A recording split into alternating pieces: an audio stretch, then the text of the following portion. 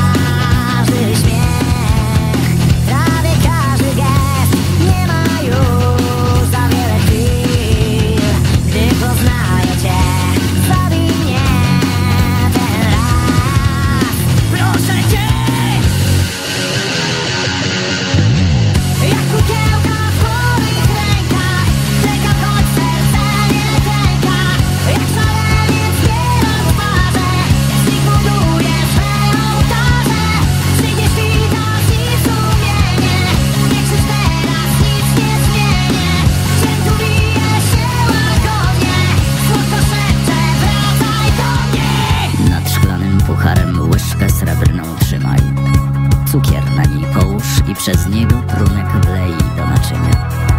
Podpal cukier i aż się stopi, poczekaj.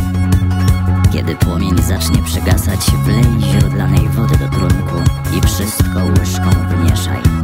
Kończąc rytuał ognia, wypij do dna.